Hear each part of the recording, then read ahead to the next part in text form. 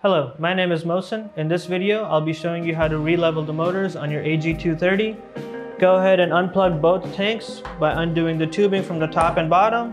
Unscrew the waterproof connector for the empty tank sensor and remove the tanks.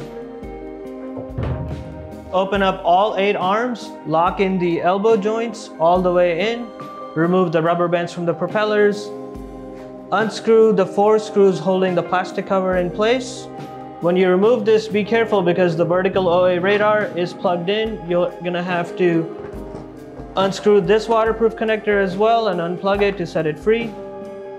You'll have to make some room on the top plate here for your digital level. One of these is provided in your toolkit or you can purchase it on Amazon or a hardware store.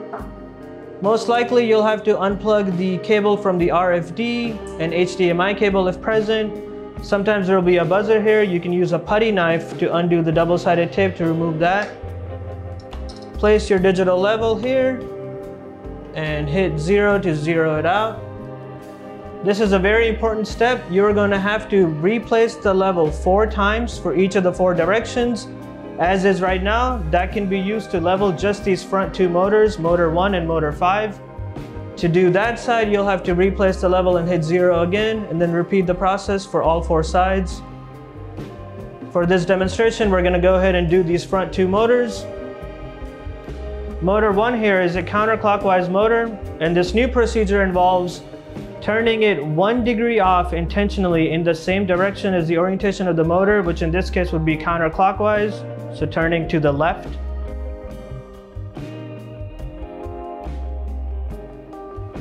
Once you've confirmed this level is zero, place it on the motor and turn it until you see one degree on the level. To the left.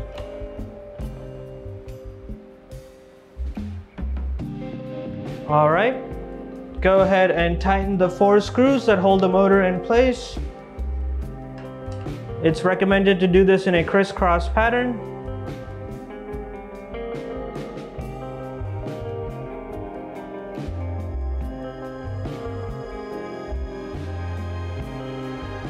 Once you have tightened all four screws, you will have to reconfirm that the motor is still one degree off to the left, the same direction as the orientation of the motor.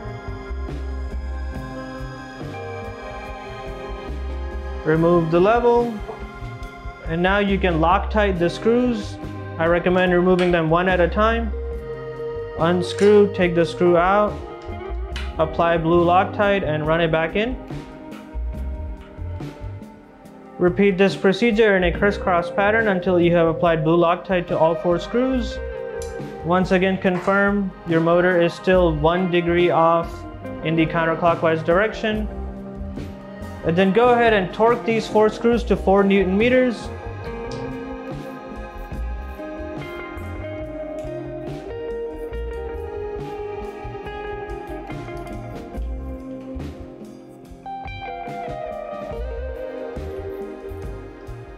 reconfirm the motor level.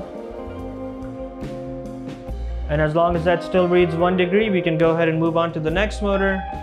Place the level back on the top plate, make sure it still reads zero degrees. Place it on your motor. Make sure you've already loosened up the four screws here. This is a clockwise motor, so you will be tilting the motor one degree to the right.